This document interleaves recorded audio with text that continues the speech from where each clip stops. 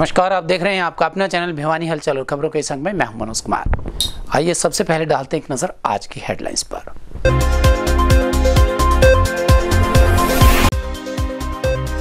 ज़िले में बुधवार को 60 कोरोना पॉजिटिव हुए ठीक, मिले 17 कोरोना पॉजिटिव नए केस।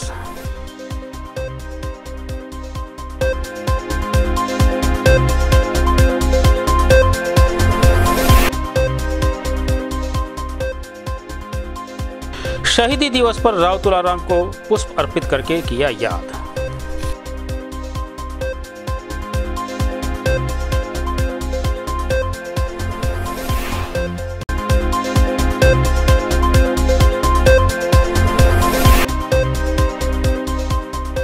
महँगाई ने बिगाड़ा रसोई का स्वाद, गरीब परिवारों पर पड़ा बढ़े हुए दामों का बोझ।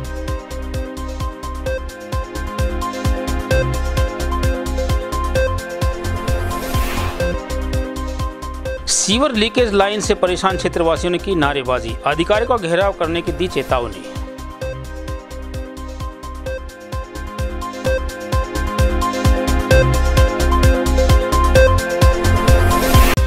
भाजपा सरकार की मजदूर, कर्मचारी व किसान विरोधी नीतियों के विरोध में केंद्रीय ट्रेड यूनियंस व कर्मचारी संगठनों ने मनाया राष्ट्रव्यापी विरोध दिवस।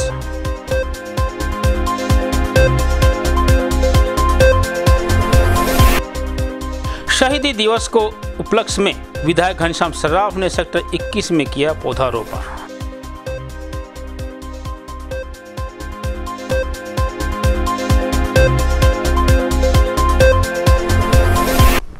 और अब खबरें विस्तार से। बुधवार को भिवानी में, जहाँ 17 कोरोना पॉजिटिव केसेस सामने आए, वहीं 60 कोरोना पॉजिटिव ठीक भी हुए। अब तक आए कुल 2510 केसेस में से 2124 ठीक होकर अपने घर पहुँच चुके हैं। अब ज़िले में तीन सौ उनसठ एक्टिव केसेस बचे हैं। बुधवार दोपहर बाद तक 500 सैंपल्स ले स्वास्थ्य विभाग की टीम द्वारा जाँच के लिए भेजे गए। भिवानी ज़िले में बीती रात को 17 कोरोना पॉजिटिव केस सामने आए हैं तथा ज़िले में बुधवार को 60 कोरोना पॉजिटिव ठीक भी हुए हैं। 17 में से दो रामगंज मोहल्ला तेरह वर्षीय लड़की व चालीस वर्षीय महिला है। एक सिविल सर्जन कार्यालय से सैंतालीस वर्षीय व्यक्ति है। एक कीर्ति नगर से सत्ताईस वर्षीय व्यक्ति। एक जमाई रोड से तीस वर्षीय महिला। तीन बागकोठी से सैंतीस वर्षीय महिला, चौदह वर्षीय लड़का व सोलह वर्षीय लड़की। दो बैंक कॉलोनी से बाईस वर्षीय लड़का व अट्ठावन वर्षीय महिला है। एक हलवा से पचपन वर्षीय व्यक्ति, तीन सेक्टर तेरह से छप्पन वर्षीय व्यक्ति, उनतीस वर्षीय व्यक्ति तथा छब्बीस वर्षीय व्यक्ति है। एक दुर्गा कॉलोनी से उनतीस वर्षीय व्यक्ति, एक कृष्णा कॉलोनी से तिरपन वर्षीय व्यक्ति तथा एक बहल से बत्तीस वर्षीय व्यक्ति है। अब तक ज़िले में कुल 2510 कोरोना पॉजिटिव हो चुके हैं, जिसमें से 2124 लोग ठीक भी हो चुके हैं। अब ज़िले में कोरोना के तीन सौ उनसठ एक्टिव केस हैं। खबर लिखे जाने तक बुधवार को ज़िले से 500 सैंपल लिए जा चुके हैं। वहीं civil surgeon doctor Jitendra Kadya ने ज़िले वासियों से अपने स्वास्थ्य का पूरा ध्यान रखने की अपील की है। अगर किसी भी व्यक्ति को जुकाम, बुखार या गले की तकलीफ़ होती है तो तुरंत डॉक्टर से संपर्क करके अपनी जाँच अवश्य करवाएँ। ज़िले के अनेक संगठनों द्वारा शहीदी दिवस के अवसर पर स्थानीय नेहरू पार्क स्थित शहीद स्मारक पर पुष्प अर्पित कर स्वतंत्रता सेनानी राव तुलाराम को याद किया गया। इस अवसर पर एकत्रित लोगों ने कहा कि शहीदों की बदौलत ही आज हम खुली हवा में सांस ले रहे हैं और आज़ाद भारत में जी रहे हैं। इस अवसर पर कामरेड ओम प्रकाश, सुरेश सैनी, रमेश टॉक ने बताया कि राव तुलाराम प्रथम भारतीय स्वतंत्रता संग्राम के प्रमुख नेताओं में से एक थे। उन्हें हरियाणा राज्य में राजनायक माना जाता है। विद्रोह काल में हरियाणा के दक्षिण पश्चिम इलाके में संपूर्ण ब्रिटिश हुकूमत को अस्थायी रूप से उखाड़ फेंकने तथा दिल्ली के ऐतिहासिक शहर में विद्रोही सैनिकों की सैन्य बल धन, युद्ध सामग्री से सहायता प्रदान करने का श्रेय राव तुलाराम को जाता है। इस अवसर पर कामरेड ओम प्रकाश, सुरेश सैनी, रमेश टाक राम कुमार सैनी, ब्रिजभान, यादव, लाला सैनी, अधिवक्ता कुलदीप शर्मा सहित अनेक सामाजिक संगठनों के पदाधिकारी उपस्थित रहे। स्वतंत्रता सेनानी राव तुलाराम जी के शहादत दिवस है और आज विभिन्न संगठनों द्वारा आज उनको पुष्प अर्पित करके श्रद्धांजलि दी गई है। उन्होंने अपने देश के लिए अपनी जान निछावर कर दी और जितने भी आज हम खुले में सांस ले रहे हैं, ये हमारे वीर सैनिकों की शहादत का ही परिणाम है और हम उनको सत सत नमन करते हैं। आज महान स्वतंत्रता सेनानी राव तुलाराम की, का शहादत दिवस है। उन्होंने देश की जनता के लिए अंग्रेज़ साम्राज्यवाद के खिलाफ एक अटूट लड़ाई लड़ी और सबसे पहले उन्होंने ही इस आंदोलन की, का श्री गणेश किया था। उन्होंने जनता को स्वाधीन बनाने के लिए और देश में अपने लोग खुद निर्णय लें, अपनी खुद सरकार हो, इस बात के लिए शोषणकारी अंग्रेज़ों को बाहर निकालने में अपनी कुर्बानी दी है। आज हम लोग उनको याद करते हैं और इसलिए याद करते हैं कि वो दोबारा से साम्राज्यवादी ताकतें, दुनिया को दोबारा से world bank, international monetary fund और वर्ल्ड ट्रेड ऑर्गेनाइजेशन के तहत लूटने दोबारा आ रहे हैं और उन्हीं के तहत तमाम कानून और जो नीतियाँ हमारी बदलाव किया जा रहा है किसान और मजदूर पर दोबारा शोषण करने की नीतियाँ थोपी जा रही हैं। आज राव तुलाराम जी का शहीदी दिवस है। इस उपलक्ष्य में हम सभी लोग इकट्ठे हुए हैं और मैं युवाओं को यही संदेश देना चाहता हूँ कि नशे से दूर रहें और इनके नक्शे कदम पर चलें। युवा इकट्ठे हुए हैं यहाँ पर। अमीर अमर शहीद राव तुलाराम के शहीदी दिवस पर यहाँ उपलक्ष्य में हम इकट्ठे हुए हैं। और हम सभी से ये निवेदन करते हैं कि हम राव तुलाराम जी के नक्शे कदम पर चलें। युवाओं से प्रेरणा करते हैं कि भाई नशे से बचें, दूर रहें। इन दिनों सब्जियों के दाम दिन प्रतिदिन बढ़ते ही जा रहे हैं। कुछ सब्ज़ियाँ तो पेट्रोल और डीजल से भी अधिक 80 से 100 रुपए प्रति किलो के हिसाब से बेची जा रही हैं। ऐसे में आम आदमी के लिए रसोई घर का बजट बिगड़ कर रह गया है। वहीं बढ़े हुए दामों से दुकानदार और ग्राहक दोनों ही प्रभावित नज़र आए। महँगाई के बारे में दुकानदारों का कहना है कि आज जिस प्रकार से सब्जियों के दामों में उतार चढ़ाव हो रहा है, ऐसे में सब्ज़ियाँ एक दिन गरीब परिवारों और आम आदमी के लिए ताज़ा और हरी सब्ज़ियाँ खाना मात्र एक सपना बनकर रह जाएँगी। आज हर रोज़ बढ़ रहे सब्जियों के दामों से आम आदमी परेशान है। गरीब वर्ग के लोग भी इससे परेशान हैं। सब्जियों के दाम आज पेट्रोल, डीजल के दामों से भी आगे निकलकर आसमान छू रहे हैं और सब्जियों के दामों के बढ़ने का असर बाजारों में ग्राहकों पर भी पड़ रहा है। दामों की बढ़ोतरी के कारण आज ग्राहकों की संख्या में इसका भारी कटौती देखी जा रही है। इसके कारण आम आदमी पर आज बढ़ी हुई सब्जियों के दामों का असर बना हुआ है। सब्ज़ी इतनी महँगी हो रही है जी। बनानी तो दूर, देखने दे पेट बच्चे बड़ी महँगाई हो रही है। अस्सी रुपये किलो है, टमाटर अस्सी रुपये किलो। बताओ, गरीब आदमी की बना खाओ। बहुत बन रहा है बस जूत बच है भाई मिर्च मात्र लिया करते मिर्च भी अस्सी रुपये किलो हो रही आलू पैंतीस रुपये। गरीब आदमी के थी मिर्च और आलू थे और प्याज इनकी चटनी बना लेंगे आज इनने के दाम आसमान छू रहे। तो तेल का तो पूछा है ना। तेल उसका गड्ढा के मारे सब्ज़ी उसका गड्ढा के मारे। काम रहा है कोई सब्ज़ी में। हो तो पहले तो साग सब्ज़ी, खेत में हो जाएँगे चना बो देंगे उसका साग तोड़ देंगे, मूली, गाजर, पानी आया करता उसका वजाया करते फिर कोई सब्ज़ी नहीं होगी भाई। की कहना चाह तो हमारे कसूचारी से सारी बच्चा की। वाली बात सब्ज़ी में सही को नहीं करा के मजबूरी है अरे काम करे हुए जाया करते करे, लिया करते भाई। ये तो दिन में को नहीं रह जाएगी। नगर के सेक्टर 21 में नगर विधायक घनश्याम सराफ ने प्रबुद्ध नागरिकों के साथ मिलकर शहीदी दिवस के उपलक्ष्य में पौधारोपण कर उन्हें श्रद्धांजलि दी। उनका कहना था कि शहीदों के नाम पर हम सब पौधारोपण कर उन्हें सच्ची श्रद्धांजलि दे, अपने वातावरण को भी स्वच्छ बना सकते हैं और पौधों का भी अच्छी तरह से ध्यान रख सकते हैं। बुधवार को सेक्टर 21 स्थित नेकीराम पार्क में विधायक घनश्याम सराफ और नगर के प्रबुद्ध नागरिकों ने पौधारोपण किया। इस अवसर पर विधायक घनश्याम सर्राफ ने कहा कि यदि हम अपने शहीदों के नाम पर पौधारोपण करते हैं तो यह उनके लिए सच्ची श्रद्धांजलि होगी। उन्होंने कहा कि हम सबको अपने बुज़ुर्गों, परिजनों के नाम पर पौधारोपण करके पर्यावरण को स्वच्छ बनाना होगा। वहीं उन्होंने कहा कि नागरिक पौधारोपण के बाद उस पौधे का पालन पोषण करके उस पर नेम प्लेट भी लगवा सकते हैं। वहीं उन्होंने शहीदों के बलिदान की विस्तार से जानकारी भी दी।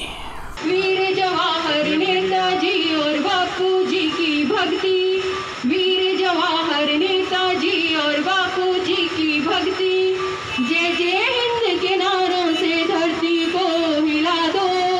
हरे नौजवानों, भारत की तकदीर बना दो। प्रकार से ये शहीदों के नाम से हम वृक्ष लगा रहे हैं। इसमें प्रत्येक पौधे का एक एक दो दो वो अभिभावक हो गए जो अपने बुज़ुर्गों के नाम की प्लेट लगाए या अपने कोई सम्मानित शहीद की प्रतिमा वो नेम प्लेट लगाएँ, जिससे इस क्षेत्र के सभी पौधे विकसित हों और उनके लिए एक एक पौधे को हम गोद देने का काम कर रहे हैं। सर को लेकर के पार्टी ने क्या निर्णय लिया? बीजेपी ने क्या निर्णय लिया? शहर की सड़कें अभी बन रही है। हम जिस एरिया में खड़े हैं इसके पीछे से रजवा रहा है जो पुराने वाटर वर्क्स पे जल की फीडिंग करता था। आजकल इस रजवाए का कोई अर्थ नहीं रह गया क्योंकि आगे भी बंद है और इस साइड में भी बंद तो इसके ऊपर हम एक अच्छी सड़क का निर्माण करवाने जा रहे हैं। पौधों की जो वन विभाग ने पैसे मांगे थे वे पैसे उनको अलॉट कर दिए गए हैं और कुछ ही समय के बाद इस पर सड़क का निर्माण शुरू हो। जाएगा इसमें हम अमृत योजना के तहत पाइपलाइन और सीवरेज की लाइन व पीने के पानी की लाइन ये डाल रहे हैं। इन सब के तुरंत बाद इन सड़कों का निर्माण कार्य शुरू हो जाएगा और पूरा शहर जो आपको लगता है कि अभी क्षेत्र में काम नहीं हो रहा है, वो सारे काम एकदम से बजट में लिए जाएँगे और सबको पूरा, पूर्ण करवाने के लिए हम कटिबद्ध हैं। स्थानीय महाराणा प्रताप कॉलोनी में स्थित वार्ड नंबर आठ की गली नंबर एक के निवासी सीवरेज लीकेज की समस्या से भारी रूप से परेशान नज़र आए। उनका कहना था कि दूषित पानी से उनका जीना दूभर हो गया है। इस समस्या को ले उन्होंने अपना रोष जताते हुए जमकर नारेबाजी की और लीकेज को ठीक करवाने की मांग भी की। इस बारे में क्षेत्रवासी मास्टर दिनेश परमार साधुराम संदीप हर्ष प्रताप पवन परमार ने संयुक्त रूप से बताया कि उनके क्षेत्र में छह महीने से सीवरेज लाइन लीकेज की समस्या बनी हुई है। इसके लिए उन्होंने आला अधिकारियों को भी लिखित में अवगत करवाया था, लेकिन आला अधिकारी हर बार उन्हें गुमराह कर रहे हैं। लाइन लीकेज आज तक ठीक नहीं हुई है। इस दूषित पानी के चलते लोगों को बीमारियों का डर सता रहा है। आजकल बदलते मौसम में डेंगू, चिकनगुनिया, मलेरिया आदि बीमारियाँ फैल रही हैं।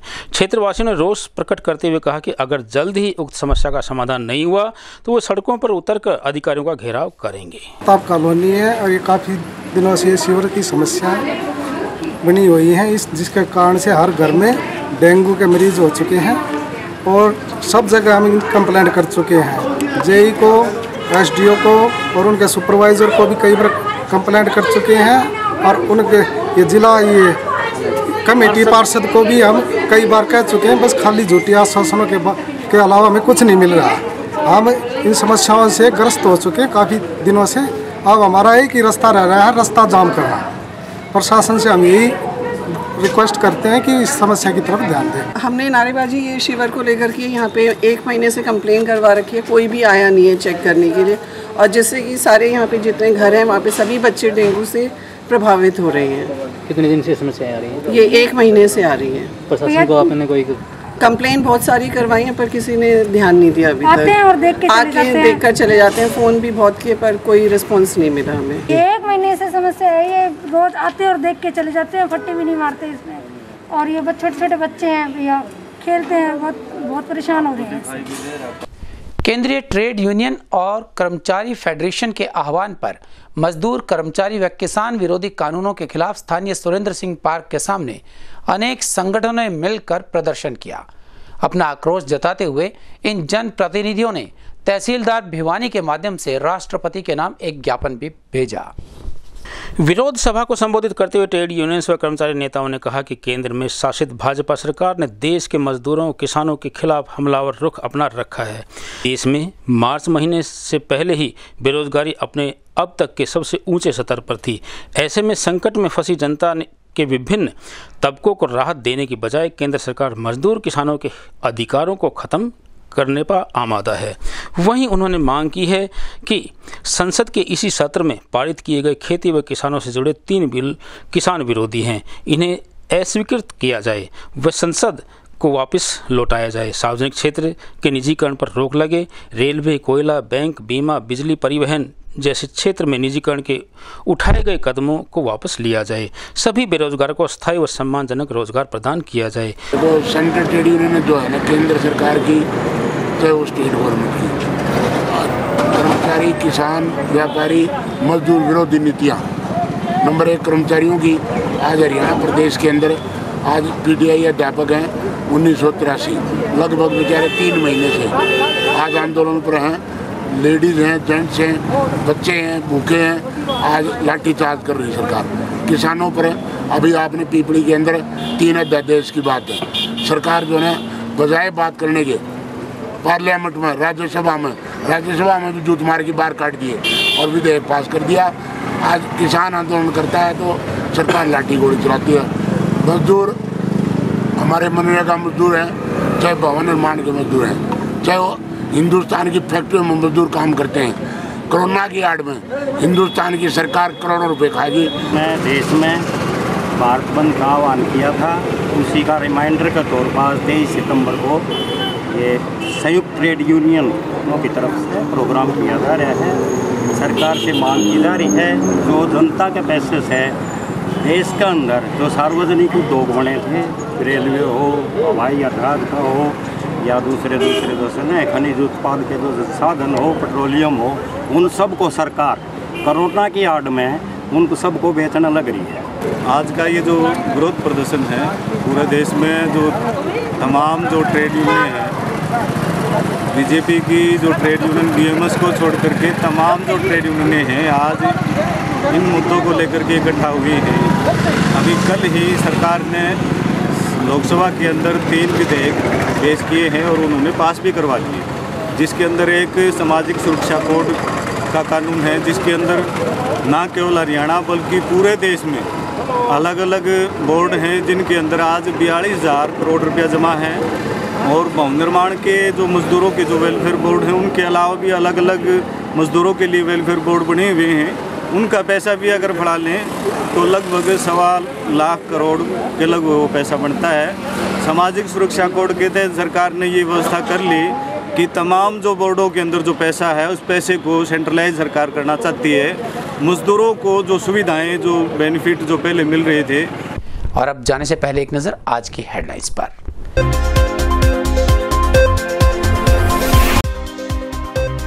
ज़िले में बुधवार को 60 कोरोना पॉजिटिव हुए ठीक, मिले 17 कोरोना पॉजिटिव नए केस।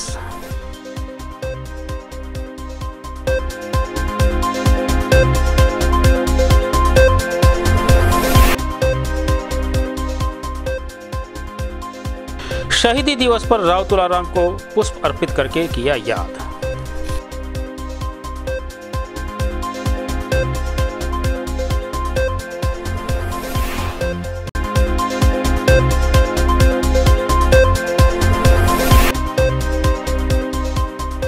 महँगाई ने बिगाड़ा रसोई का स्वाद। गरीब परिवारों पर पड़ा बढ़े हुए दामों का बोझ।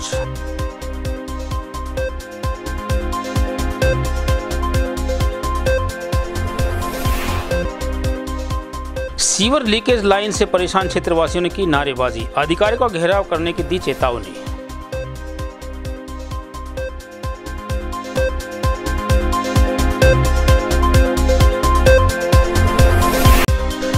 सरकार की मजदूर, कर्मचारी व किसान विरोधी नीतियों के विरोध में केंद्रीय ट्रेड यूनियंस व कर्मचारी संगठनों ने मनाया राष्ट्रव्यापी विरोध दिवस।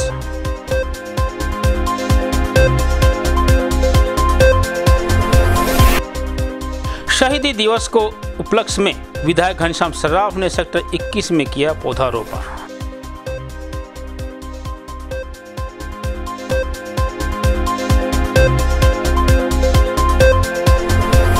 हमारे संग में बस इतना ही अगले के लिए देखते रहिएगा आपका अपना चैनल भिवानी हलचल।